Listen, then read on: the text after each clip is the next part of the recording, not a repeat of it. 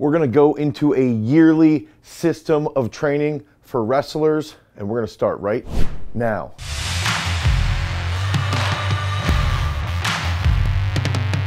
What's up everybody, it's Dane Miller from GarageStrength.com and if this is your first time to the channel and you're interested in learning about strength training, you wanna be more explosive, you wanna take those gains from the weight room and apply it to your competitive field, make sure that you like, you subscribe, and you ring that notification bell so we can help you stand on top of the podium. So the wrestling season ends and everybody's a little bit, you know, you're sort of happy with how everything went, but you see those guys that are standing up on top of the podium. You see in the dudes getting their hands raised because they just won a national title. You're watching it on ESPN and you're dreaming about being in that moment. You start to think about how you want to win a state title. You're a coach maybe, and you're thinking about how you want to have that experience as a coach. You want your guys standing on top of the podium. You want to be the best coach in the state. You want to be the best coach in the country. And you start to think about it. Your wheels start to turn. Look, I want to get to that top point. I want to be the best. I want to have the best athletes. I want to be the best wrestler. I want that medal on top of my chest so that I can be an NCAA champion and continue to make progress so I can get to that next level. And so you've got to start to think about it. A lot of wrestling coaches lack that yearly plan.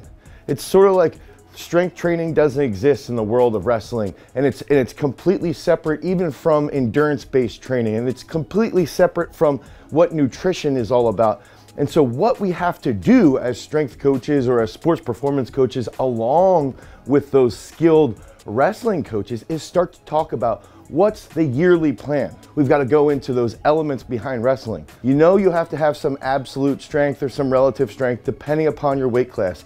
You've got to have dynamic reactiveness. So you've got to be able to scramble very rapidly. You got to be able to set up your shots and react quickly to what your opponent is doing. We also know that you have to have really good grip strength, right? Grip strength is key to being a dominant wrestler. And then finally, you've got to have really good strength endurance. You've got to have that endurance so that you can win in the third period, you can win in overtime.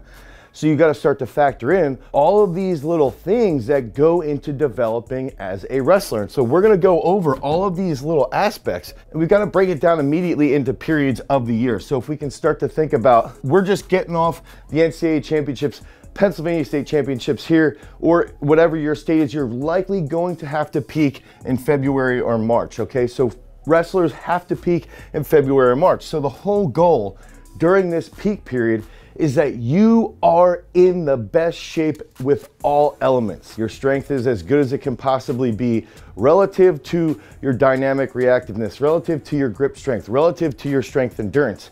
At this point, we need to have that explosive reactiveness. We've got to have endurance. And from a nutritional perspective, we very likely have to be in a slight deficit if we're cutting weight. Now, if we're a heavier guy, we can be eating a lot more protein, we can be eating a lot more carbohydrates, and we're gonna be perfectly fine. We're gonna feel good and explosive getting onto the mat. But we've gotta make sure that when we're peaking, we're laying out, all right, during this block, okay, during this block, the peak block, we're gonna be focusing on a lot of really precise technical work in the room. We're, in turn, we're gonna be focusing on really good reactiveness, good endurance. We don't have to beat our guys up, just nice steady state stuff, and then we're gonna be in a slight nutritional deficit. And that's going to be a key component behind peaking really well. We don't want our wrestlers beat up. We don't want them feeling like crap when they're going into some of the biggest matches of their lives. We want them to feel fresh. We want them to feel strong. We want them to feel confident mentally. So they've got to be eating pretty well so that they can sleep pretty well so that they can recover from each training session. Now, the season ends and we're all motivated. Everybody's watching ESPN. Everybody's seeing Penn State's got four national champs. We want to be the next Penn State. We want to be the next Iowa. We see all these dominating performances. We see Ferrari's got, you know, Mr. Fast Twitch has this huge deadlift. We want to be as strong as him. We start to have all these thoughts go through our minds, but we don't know where to go. We have no idea where to start. So what I recommend doing is sitting there saying, all right, Block one, April and May. Let's focus on just getting back in shape. So this period, April May, this is a really good time frame to really build that base. And we've got our Adonis bodybuilding for wrestling program. This is a really good time to hit that Adonis based program. From a nutritional perspective, okay, get a lot of protein. Up your protein like crazy. Get those carbs high. Stop worrying about the weight class you're gonna be in. Don't worry about where everybody else is Worry about your effort this off season. Worry about yourself. Worry about your own personal training and what you're gonna be doing in the weight room and what you're gonna be doing on the mat. Worry about getting into the room, working on those little intricate details, but take care of yourself in the weight room and stop worrying about everybody else. Your weight will go wherever it goes. Just don't get too sloppy fat. Focus on those lean gains during this time while you're still doing that work and your weight will go wherever it goes. And then as we get closer to the season, we can be more precise about that weight class. But again, absolute strength bodybuilding right after the season, you can start to build back up. Adonis bodybuilding for wrestling program. We've got that at garagestrength.com. Block two, May, June. Okay, now we're gonna be focusing on absolute strength. And I, le I left this blank. I like to have in here, you could be focusing on that relative strength as well. You can be focusing on your reactiveness if you're a little bit weaker. If you're not as explosive as some of these guys that are the top dogs, you can start to bring in some, some more stuff that's gonna make you a little bit more explosive. So plyometric work. We've got the BLAST program at this period. That might be a really good program. The BLAST program is gonna help you be a little bit more explosive a lot of wrestlers aren't those freak athletes. They're not, they're not like the wide receivers or the running backs that we see that have 40 inch verticals. But this is a time frame, May and June, that you can start to really build that absolute strength. So your squats go up, your benches go up, your cleans go up, and then we start to work around with some explosive jumps. So blast program during May and June, that's a really good period. Here, high protein, high carbs. Again, don't worry about where your weight is at. Block three, July, August. Now we're getting a little closer to the season. July and August, we've got some summer tournaments. And the big key here, if you're a wrestler, stop worrying about the results of those summer tournaments. Yes, you need to get on the mat. Yes, you need to wrestle. Yes, you need to do freestyle work, Greco work, whatever it is that you're doing. You've got to get into that stuff. You've got to focus on that technical aspect, but don't put so much weight on it yet. Focus on your strength work, focus on your plyometric work, focus on your mental capability, focus on recovery. Start to take note of how you feel with certain foods. Focus on your nutrition in the off season so that when you get into the in season, when it really, really matters from a collegiate or high school perspective, well, now you know what's gonna have a positive or negative impact on you. Okay, so again, high protein, high carbs. Now, July, August, absolute strength, reactiveness. Again, blast program, reactiveness. This is a key component here, right here, high protein, high carbs. When we're gaining strength and when we're getting larger, okay, when we have greater growth in our muscles, if we have a bigger engine, if we have larger muscles, we can put out more force, but we have to train it that way. So we need to get stronger. We need to get our weights up in the weight room. But at the same time, we need to train our nervous system how to recruit very rapidly. If we can coordinate very rapidly, we will be dominant on the mat. So it's important during these months to continue to build strength, but really focus on that reactiveness as well. Now, September, October, we're starting to get closer to the season. When we're starting to get closer into the season, we need to bring in some, a little bit of light endurance, okay? Reactiveness is key. When I'm talking about this too, I wanna go over this real quick. If I'm saying light endurance, I mean get on the assault bike, do 30 minutes of an easy ride. Doesn't need to be crazy. It's so easy to build cardio. It's very easy. Just steady state, easy. When we're recovering throughout the entire year as wrestlers, it's also key, go into the sauna. The sauna can actually help with your strength and endurance without actually doing anything. It's gonna help you recover and look up Heat Shock Protein 70. This protein is going to help you recover and improve your strength endurance. This is released and caused by high heat training in the sauna, okay?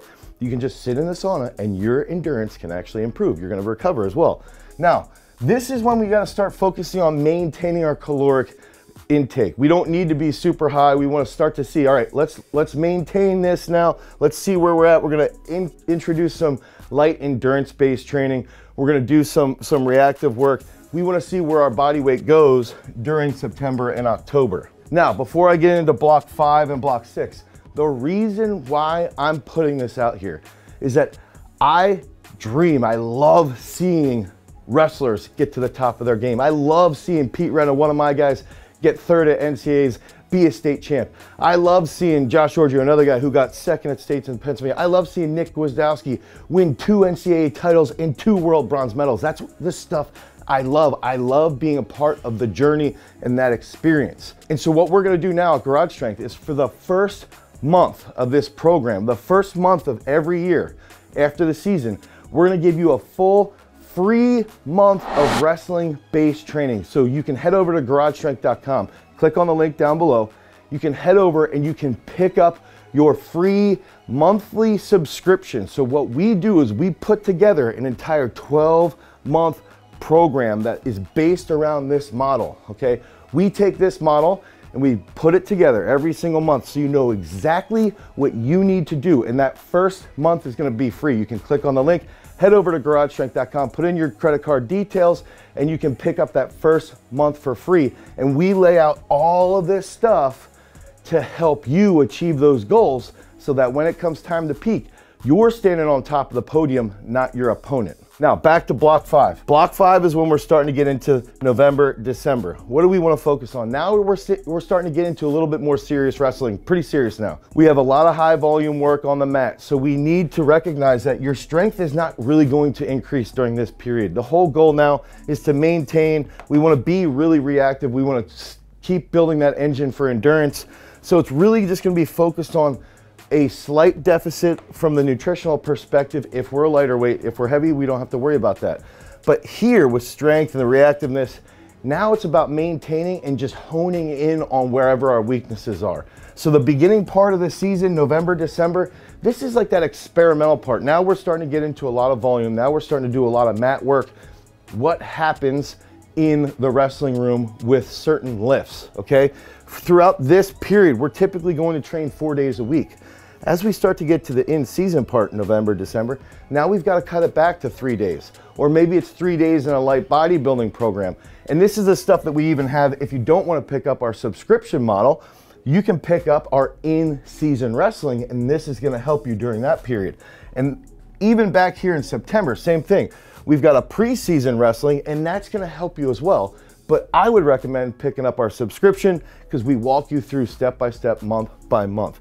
Finally, we're gonna get to block six, January, February. I believe this is the key component. This is the glue that brings all of this together to create this peak, okay? And when I'm talking about a peak, I'm talking about getting on the mat, knowing confidently you're stronger, you have better grip, you, you are more explosive, you have better endurance. I'm going to smash my opponent because I've taken the time throughout the last 12 months to improve my absolute strength, to gain a little bit of muscle mass, to enhance my endurance, to focus on my nutrition so that I know exactly what impacts me from a positive perspective so that I have that energy here to transfer to here. And so this is that transition block, block six.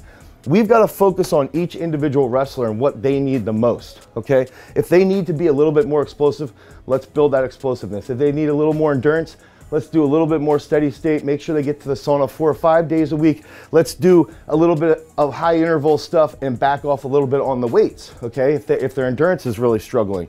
Now, if they're pathetically weak, but they've got really good endurance, hit the weights a little bit more. Hit the weights a little bit more during this period if they're terribly weak. And then that's gonna transition into here of them being reactive and still maintaining their endurance. So that's a really key component during block six. And then now block six ends. We're in a, a, slight caloric deficit if we're talking about those lighter weight guys. Block six ends. Now we're getting to that peak. So February can sort of transfer over between that block six and that peak period. And that is how you've got to lay out a blueprint for a full year of training. And you got to sit down with your wrestling coach. How are we periodizing each and every step? Because you want to be that state champ. You want to be that NCAA champ. Or if you're a coach, you've got to push your strength coach to put this stuff together because you want to become a champion. So if you want help with this, head over to garagestrength.com. You can pick up our yearly subscription plan every single month. You will get a new program that fits into this model. If you want more content about wrestling, click on this card right here. Until next time, guys, I'll see you on top of the podium. Peace.